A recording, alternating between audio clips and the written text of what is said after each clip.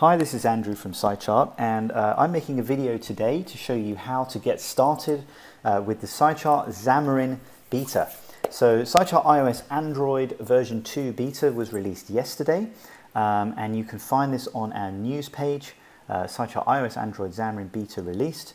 And version 2, um, it really is a huge step forward in our mobile charts.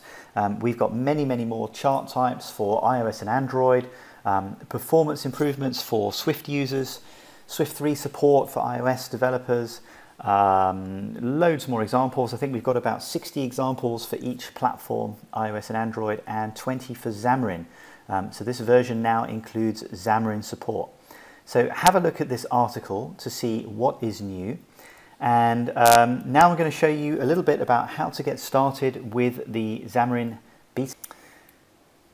So the beta is hosted on GitHub and there are three links here. Um, if you haven't used GitHub before, this is a, uh, basically it's a Git repository in the cloud.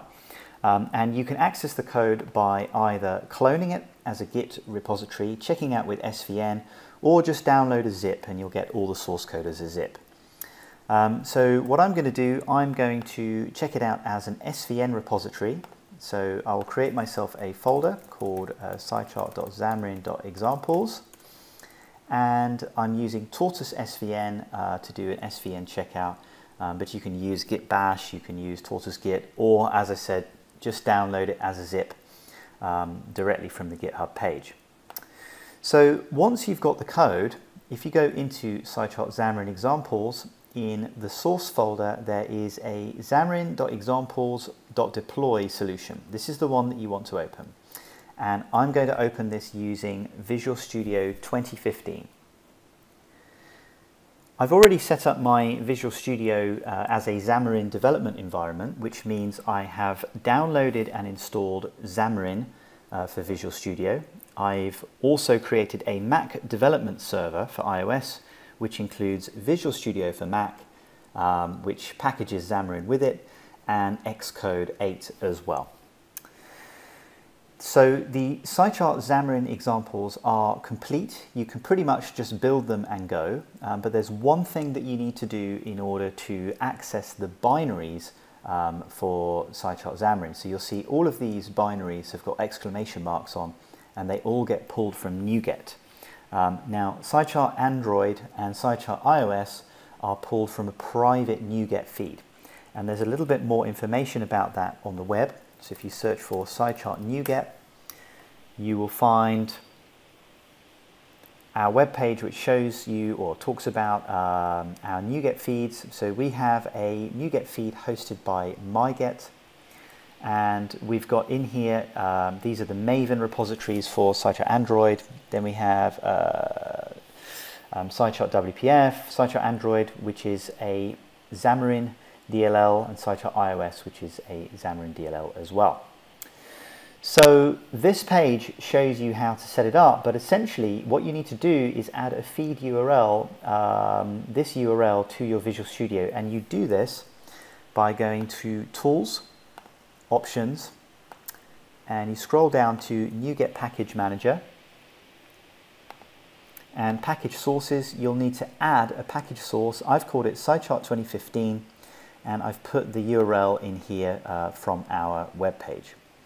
So once you've done that, you should be able to do a clean and rebuild, and it should compile uh, the SciChart Xamarin examples. Okay, so I paused that while it was building because it takes a few minutes uh, and we've got rebuild all uh, succeeded. So we have now two projects, Xamarin examples.demo.droid for Android and the same project for iOS. And we have a shared project here with some uh, shared uh, um, data and classes in it. So I'm going to go ahead and set the iOS project as a startup project. In order to compile this, um, and it would have shown you a warning if you hadn't done it already, you need to be connected to a Xamarin Mac agent. So this is a hard limit with Xamarin that you need to connect to a real Mac which has Visual Studio for Mac uh, with Xamarin and Xcode 8 installed on it. Um, I've previously set that up so I can compile And now I can basically run this on an iPad Air emulator. Simulator is just starting up and connecting to the Mac.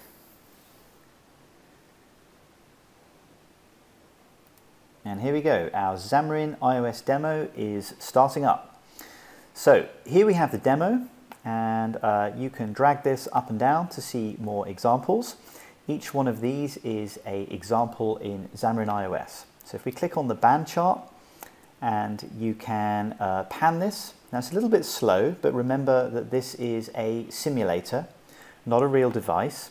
So it's a lot slower than a, a, physical device. And there's also some artifacts I can see here. Again, these are simulator only. Um, on a real device, this is super performant, smooth, uh, and it looks absolutely fantastic. So Xamarin iOS supports uh, candlestick charts, uh, band charts, uh, we have bubble charts, um, we also have um, a couple of real-time demos such as this ECG monitor demo Again, um, it's a little bit slow here on the simulator, but um, trust me, try this on a real device. It is super fast and smooth. Um, we support uh, a lot of different annotation types which you can place over the chart. Um, obviously the standard things like line charts, mountain charts. Um, we've got this demo for multi-pane stock charts so you can make a you know, a really feature-rich uh, stock charting application uh, with uh, SciChart iOS and Android um, or with Xamarin. We have this demo which is a, a sort of a real-time updating stock chart demo, um, scatter charts, all different kinds of charts that you can imagine really and uh, we are creating more all the time. Um, here we go, we've got some stat columns as well um, and we support tooltips so as you mouse down on this chart, you should see a tooltip appear.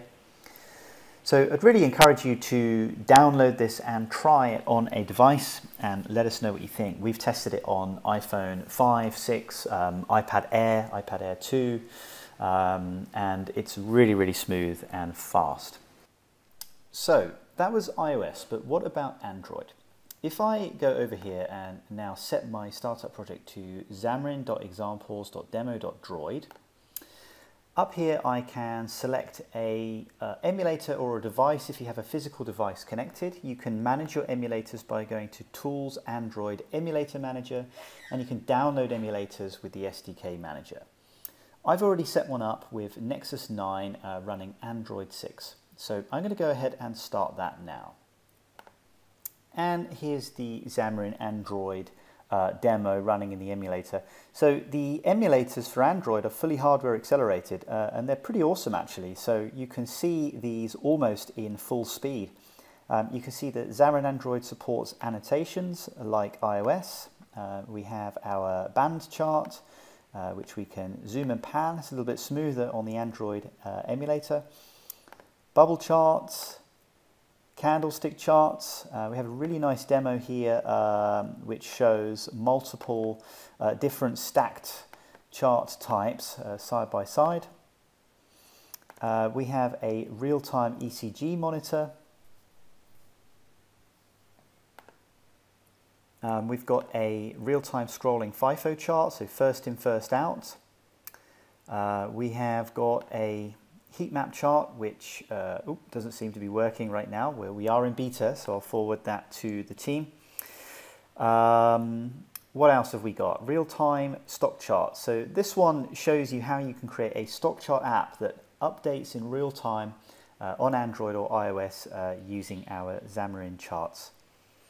Um, in addition to that, the standard things that you would expect, like uh, tooltips, uh, we have themes, all sorts of features really. Um, so there you have it. SciChart for iOS Android version 2, now released in beta. We've got Xamarin support. Um, if you want to scroll down here on this page, you'll see not only the links to the GitHub, but there's also some links to tutorials. Um, the iOS tutorials are just being completed as we speak, but the, the Android ones are ready already. So if you want to have a go, have a look at these tutorials. Um, and we've got a number of them here allowing you to uh, create SciChart surface, add series, zoom and pan, tooltips, uh, add real-time updates, annotations, etc., etc. Um, so there's a lot you can do uh, with the SciChart Android and iOS uh, and Xamarin Beta out of the box. Let us know your feedback. If you have any, uh, you can contact us over at scichart.com. There's a contact page. Um, tell us what you think. If there's anything you need uh, or anything you'd like us to add, please let us know.